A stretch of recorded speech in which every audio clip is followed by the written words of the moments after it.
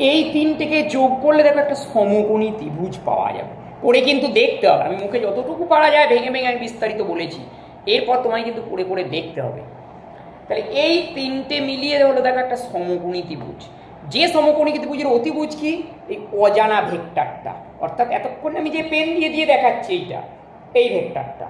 এটা আসছে কোথা থেকে? একদম মূল বিন্দু থেকে। এই হলো অতিভুজ। এই যে এটা নামছে দিস ইজ লম্ব। আর এইটা যে বিন্দুতে মেঝেতে ছেদ করেছে মূল বিন্দু থেকে সেই বিন্দুটা একটা তুমি চক দিয়ে যোগ করে দাও, একটা লাইন দিয়ে, পেন্সিল দিয়ে স্লেট পেন্সিল হোক বা চক দিয়ে যুক্ত করে দাও, সেটা হবে দেখো ভূমি। তাহলে, এইবার ভূমি ভেক্টরটা অলরেডি করে নিয়েছো, আগে বলে দিয়েছি X I plus Y J করা আছে টু ডাইমেনশনের জন্য, সেটা হচ্ছে X I plus Y J এই উল্লম্ব ভেক্টরটা দিস ইজ জেড কে তাহলে অজ্ঞাত এই মূলবিন্দু থেকে এটা যুক্ত করে যে ভেক্টরটা হবে সেটা হচ্ছে আর সেই অতিভুজটা। সেইটা কীভাবে? ওইটা দেখো ভেক্টরের ত্রিভুজ সূত্র প্রয়োগ করা যাবে। ভেক্টরের ত্রিভুজ সূত্র অনুযায়ী, দেখো এই ভেক্টরটার দিকটা হচ্ছে এই দিকটা এই কোন থেকে আসছে এই দিক বরাবর। জেড যে লক্ষ্য বরাবর যে ভেক্টর জেড কে দিক হচ্ছে এটা। আর এক্স আই প্লাস ওয়াই যে দিক কোনটা হবে? এই মূল বিন্দু থেকে এই যে বিন্দু ছেদ করেছে সেই পর্যন্ত যুক্ত করতে হবে। সেটা হবে এক্স আই প্লাস ওয়াই যে সুতরাং এই তিনটেকে যোগ করলে, দেখো তোমার ত্রিভুজ সূত্র অনুযায়ী লেখা যাবে যে আর ইকুয়াল বা এক্স আই প্লাস ওয়াই যে বাই মানে আর ওয়ান তাহলে X I cap plus Y J cap plus Z K cap এই হলো থ্রি ডাইমেনশনে তোমার ভেক্টরের কনসেপ্ট থ্রি ডাইমেনশনে এটা বোঝানো হলো।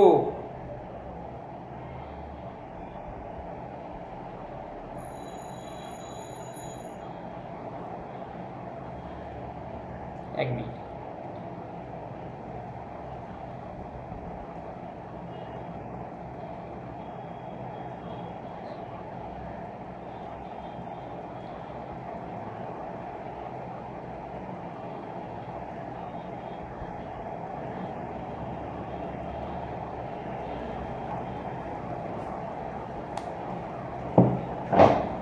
আচ্ছা।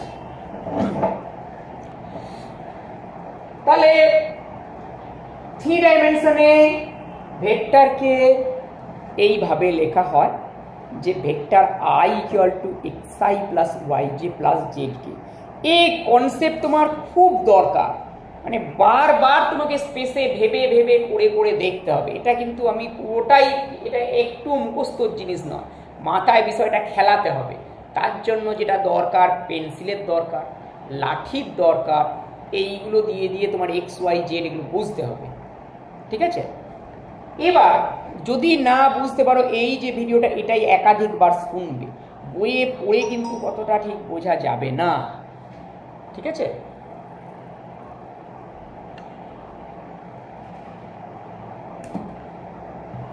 বইয়ে পড়ে কিন্তু এতটা ঠিক পারবে না, সেই জন্য একটু তোমার লাঠি দিয়ে দিয়ে বিভিন্ন জিনিস দিয়ে করে করে দেখতে হবে।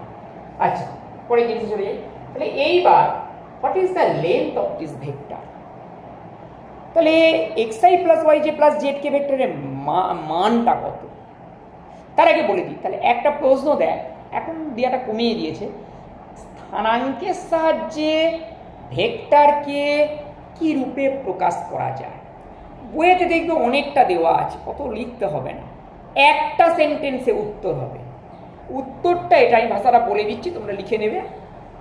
মূলবিন্দু জিরো জিরো জিরো, একটা ফার্স্ট ব্র্যাকেটের মধ্যে, যেমন স্থানাঙ্ক লেখে। মূলবিন্দু জিরো জিরো জিরোর সাপেক্ষে পি এক্স ওয়াই জেড বিন্দুর স্থান ভেক্টর হলো ও পি ইকুয়াল টু মাথায় তীর চিহ্ন দেবে equal to R equal to X I plus Y J plus Z K একটা সেন্টেন্সে উত্তর হবে হয়ে এই ছবিটা দেবে। যে এটা টু ডাইমেনশন থ্রি ডাইমেনশন এটা করে দেবে। এখানে একটা জেড অক্ষর দাও এটা জেড অ্যাক্সিস পেয়ে দাও কোঅর্ডিনেটটা তখন এক্স ওয়াই জেড বলবে এটা, আর এটা ও জেড বলবে হয়ে যাবে। আর কিচ্ছু লিখতে হবে না। এসব তোমায় দিতে হবে না। লম্বটা নিয়ে এগুলো করতে হবে না। এইটুকু থাকবে। মূলবিন্দু জিরো জিরো জিরোর সাপেক্ষে পি এক্স ওয়াই জেড বিন্দুর স্থান ভেক্টর হবে O P equal to R equal to X I plus Y J plus Z K এটাই হলো স্থানাঙ্কের সাহায্যে একটা ভেক্টরকে প্রকাশ। এইবার এই ভেক্টরটার মান কত হবে? এটাকে পড়তে হবে।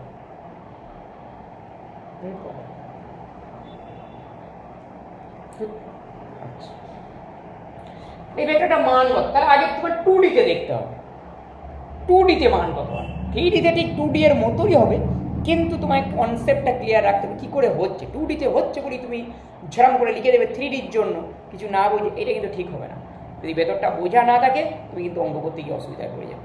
এবং ফিজিক্সটা এর পরও পড়তে গিয়ে তোমার ওই থ্রি কনসেপ্ট যদি ঠিক না থাকে, বিপদে পড়বে। যাই হোক এই ক্ষেত্রে তোমার অলরেডি এটা জানো, আমার আর বলা লাগবে না, যে O P equal to R এর মানটা আর বা কোনো কোনো এরকম লেখা আছে লিখবে root over X square plus Y square for two D 2D and what will be for 3D একই রকম ভাবে এই ওপি ভেক্টরটা টু ডির ক্ষেত্রে যদি হয় থ্রি ডির ক্ষেত্রে কি হবে? থ্রি ডির ক্ষেত্রে তোমাকে বারবার দেখিয়েছি, এইটা হচ্ছে অজ্ঞাত ভেক্টরটা এটা নির্ণয় করতে হবে। এতক্ষণ নির্ণয় করা দেখানো হলো, এর মানটা বার করতে হবে। এই মানটা কত? এই যে লম্ব টানছি, মেঝে পর্যন্ত যেটা যাচ্ছে দ্যাট ইজ তোমার জেড এই মানটা হচ্ছে জেড আচ্ছা মে এই লম্বটা মেঝেতে যে বিন্দুতে ছেদ করেছে সেই বিন্দুটার স্থানাঙ্ক কি? X Y. সুতরাং মূল বিন্দু থেকে, অর্থাৎ তিনটে সরলরেখা যে বিন্দুতে এসে মিলেছে, সেটা হচ্ছে মূল বিন্দু। সেই বিন্দু থেকে এই লম্বটা মেঝেতে যে পানে ছেদ করল, সেই বিন্দু দূরত্ব, দেখো root over X square plus Y square এখন মেঝেতে যখনই আছে, তখন সেটা টু ডাইমেনশন এসে গেছে। এবং মেঝেতে যে বিন্দু এটা ছেদ করবে, তার স্থানাঙ্ক হয়ে যাবে এক্স ওয়াই। কী করে হয় আগে বুঝিয়েছি? এই ডিস্টেন্সটা হচ্ছে তোমার, এই যে এটা যদি ভেক্টরটা এই ডিস্টেন্সটা হচ্ছে ওয়াই আর এখান থেকে এটা হচ্ছে এক্স মেঝেতেও ঠিক যে বিন্দুতে লম্ব টানবে, সেখান থেকে এই দিক বরাবর যে অক্ষটা যাচ্ছে এরকমভাবে মেঝে, নিচে দিয়ে তোমরা দেখতে পাচ্ছ না, সেইটা হচ্ছে এক্স অক্ষ, আর এদিক দিয়ে যে সরলরেখাটা যাচ্ছে, এই দেওয়াল দিয়ে, সেটা হচ্ছে তলা দিয়ে একদম, মেঝে দিয়ে। এই দেয়াল আর মেঝের সংযোগস্থল, সেটা হবে তোমার ওয়াই অক্ষ, এটা এক্স অক্ষ, এটা ওয়াই অক্ষ। সুতরাং এটা যদি এক্স এটা যদি তোমার ওয়াই বলো এটা যে বিন্দু ছেদ করবে সেখান থেকে এই দেওয়াল পর্যন্ত যে দৈর্ঘ্য, এই দেওয়াল পর্যন্ত সেটাও হবে তোমার ওয়াই একইভাবে এটাও হবে তোমার এক এটা যদি এখানে ওয়াই যদি বলো, মেঝেতে যেখানে ছেদ করেছে, সেখান থেকে এই দেওয়াল পর্যন্ত দৈর্ঘ্য, সেটাও হবে তোমার এক্স সুতরাং কোন থেকে ওই বিন্দুটা পর্যন্ত দৈর্ঘ্যটা হয়ে যাবে দেখো over X square plus Y square. তাহলে দেখো আগের আবার আগের কনসেপ্ট আবার নিট বলছি সুতরাং যে ত্রিভুজটা তৈরি হলো, যে তিনটে বাহুর সমন্বয়, কোন তিনটে বাহু? এই যে, এই ভেক্টরটা, এই মূল বিন্দু থেকে আসছে এই সরলরেখাটা। এখান থেকে লম্ব টানছে একটা, সেটা লম্বটা যাচ্ছে, কোথায় মেঝেতে ছেদ করছে, যে বিন্দুতে ছেদ করেছে, মূল বিন্দু থেকে সেই বিন্দু যুক্ত করে দিচ্ছি। তাহলে দেখো, এই সরল রেখাটা আর মূল বিন্দু যে বিন্দুতে ছেদ করেছে মূল বিন্দু এইটা মূল বিন্দু এটা মেঝেতে যে বিন্দু ছেদ করেছে, মূল বিন্দু থেকে সেই বিন্দুটা একটা পেন দিয়ে বা পেন্সিল দিয়ে যদি যুক্ত করে দিই, এইটা মেঝেতে ওই সরলরেখাটার উপর দেখো লম্বভাবে থাকবে। এটা থ্রি ডি কনসেপ্ট এই মেঝের উপর তুমি এইখান থেকে, যেখান থেকে সরলরেখাটা আনো না কেন, সব লম্ব হবে। সুতরাং এটা হলো লম্ব, আর মেঝেতে যেটা সরলরেখাটা, যে ভেক্টরটাকে আমরা X I plus Y J বলেছি, বা যার দৈর্ঘ্য উল্টো বার X square plus Y square সেইটা হচ্ছে তোমার ভূমি। এটা অতিভুজ। সুতরাং অতিভুজ স্কোয়ার ইকাল টু লম্ব স্কোয়ার প্লাস ভূমি স্কোয়ার সুতরাং ভেক্টর আর তার মান লম্ব স্কোয়ার প্লাস ভূমি স্কোয়ার লম্ব স্কোয়ার মানে হচ্ছে তোমার জেড স্কোয়ার ভূমি স্কোয়ার মানে ভূমির দৈর্ঘ্য হয়ে গেছে উল্টো বার X square plus Y square তাহলে ভূমি স্কোয়ার মানে X square plus Y square আর এটা স্কোয়ার অতিভুজের স্কোয়ার ইকুয়াল টু লম্ব স্কোয়ার প্লাস এটা ভূমি স্কোয়ার সুতরাং vector R equal to root over X square plus Y square plus Z square. ঠিক দেখো টু ডির মতোই শুধুমাত্র এক্সট্রা জেড পার্টটা থাকবে কিন্তু ভেতরের বিষয় এইগুলো আছে, প্রমাণটা তোমায় একটু ভেবে ভেবে বুঝে বুঝে পড়তে হবে। লাঠি দিয়ে, পেন দিয়ে বিভিন্নভাবে